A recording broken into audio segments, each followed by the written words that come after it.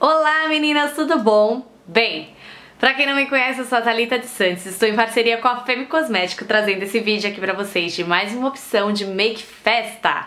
E pra você que já me conhece, eu queria pedir desculpa pela voz de travesti que eu estou, mas eu fiquei muito doente essas duas últimas semanas, eu fiquei totalmente sem voz e trazer alguns vídeos aí pra vocês, tá? Mas já tô melhor, minha voz ainda tá melhorando, mas vamos falar de make, tá? As desculpas já foram dadas, mas o glamour tem que aparecer, né, gente? Olha que luxo! Poder e sedução essa make que eu preparei pra você com a opção de você gastar muito pouco. Por quê? Porque você encontra os produtos lá na Femme Cosmético, tá? Então, se você gostou dessa opção festa, assim, pra usar com vestidinho nude, ou então pra usar com rosa, um preto, enfim, a cor que você desejar, Dá pra você seguir o tutorial, garanto que é bem facinho, tá bom? É só acompanhar se você gostou. Tchau! Certo, eu apliquei aqui a minha base para a sombra. Eu vou começar com a paleta da Catherine Hill, tá? Tem um marrom aqui que ele é opaco e bem escuro. Eu vou pegar esse marrom com esse pincel da Macrylan, tá? Que é um pincel lápis. Vou pegar a sombra e vou começar marcando o meu côncavo com ela, tá? Vou marcar aqui e vou trazer aqui pra baixo.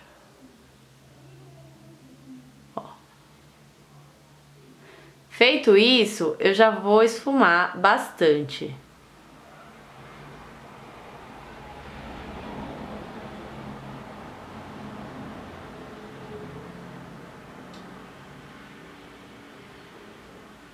Esfuma bastante. Feito aqui o esfumadinho com ela, tá? Vou, pe vou pegar um pincel da Macrylan também, que você encontra na Femme Cosmético, que ele é chanfrado e chato, e grandinho, ele é um pincel médio. Vou pegar essa sombra aqui, ó, esta sombra aqui do lado do dourado, e vou aplicá-la aqui, ó, nesse finzinho.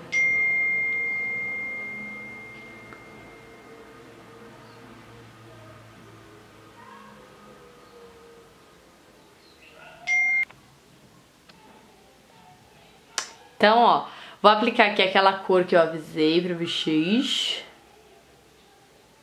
Que isso, gente? Tô com... Certo. Vou trocar de pincel. Ué, cadê você? Aqui.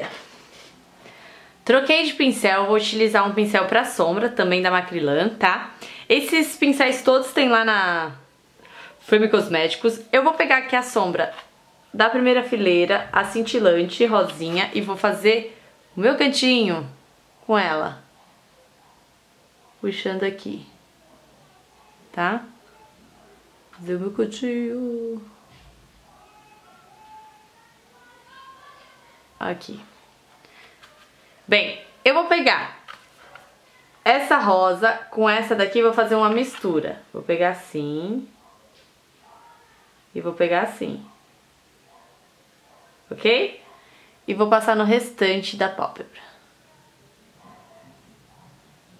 Mas tá linda, você passou cintilante, cintilante opaca. Sim, cintilante, cintilante opaca.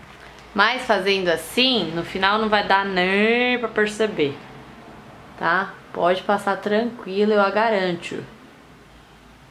Vai ficar tudo opaco no final.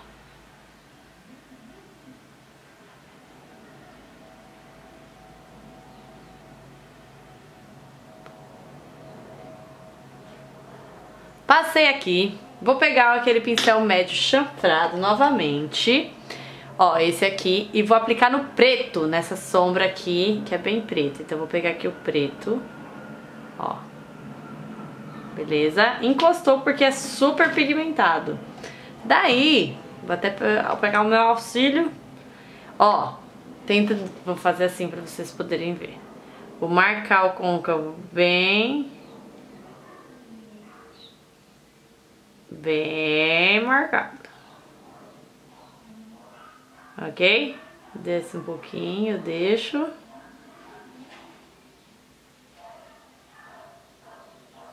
E aí, esfuma, mas sem avançar aqui, tá? Esfuma só esse cantinho. Pode trocar por outro pincel de esfumar. Tem que ficar assim, bem marcado, tá vendo? Tá vendo? Viu? Viu? E aí... Só esfumar.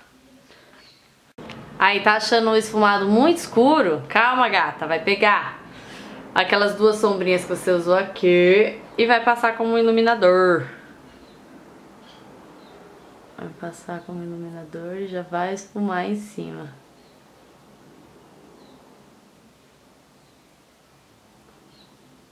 E a espuma vem.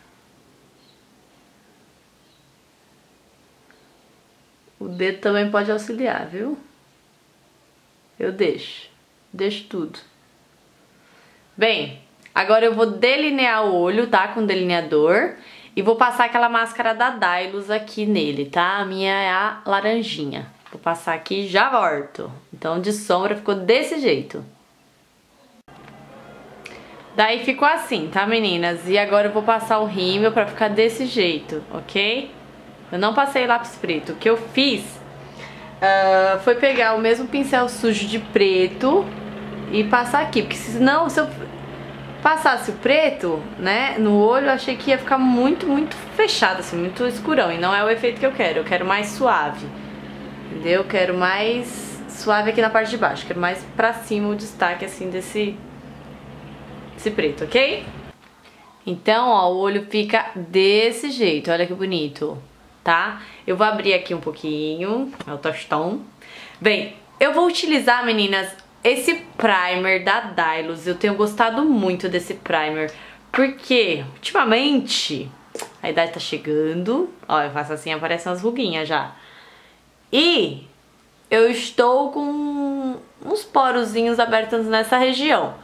Quando eu passo a base sozinha, sem passar o primer, uh, dá a impressão que aumenta, entendeu? Dá, dá a impressão que destaca. Não sei se é coisa da minha cabeça ou se eu, como mulher, sinto isso, entendeu?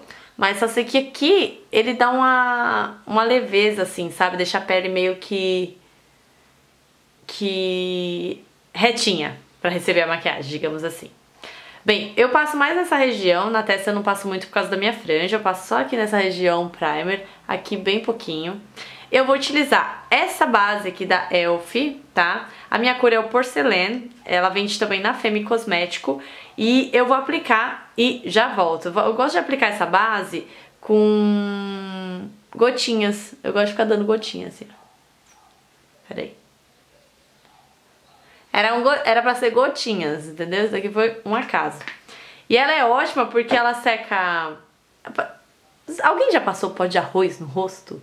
Eu tenho a impressão de passar pó de arroz com ela, porque ela é uma, uma base tratamento, uma base pra acne. E eu gosto de passar ela como se, com as mãos. Minha pele tá avermelhada. Vou terminar aqui de passar a base, finalizar com o pincel da Macrila e já volto. Então, ó, eu passei com a mão e finalizo com esse pincel aqui da Macrilan maravilhoso, gente, pincel bafo. Tudo de bom, tá? Então fica ela uma... Parece que passou pó junto, mas não passou. Bem, eles me mandaram isso daqui, que é um bronzer com blush, olha que lindo. E com outro pincel da Macrilan, que também é lá, do site, tá? Eu vou espremer o pincel assim, pra que ele fique desse jeito. Eu vou pegar o bronzer. O bronzer eu vou marcar em sentido a boca, tá? E fazer um Czinho. E do outro lado também. Marca em sentido a boca e faz um Czinho. Esse daqui ficou um C certinho. Daí, só esfumar pra valer, entendeu? Depois a gente esfumado bem, segura o cabelo, vem e aplica o, o blush. Agora eu venho aplicando o blush aqui, ele é um bem pigmentado, tá? Então só buf, buf, buf, buf, buf, buf. Parece até que não, mas ao vivo e a cores ele é pigmentado. Então já deu uma corzinha. Agora o principal dessa make, olha isso! Esse daqui é o batom líquido da Dylos Pro. Que cor é essa, gente? Arabesque. Eu vou passar ele, tá? Que ele é um pouquinho chatinho de passar. Por quê? Porque ele dura muito, ele vai secar na boca e vai ficar. Gente, eu tô com voz de travesti? Não sei, hein? Ai, essa é linda. Olha essa. Olha essa cor. Luxo, rodeiro, sedução. E eu tô ralando sem ralar.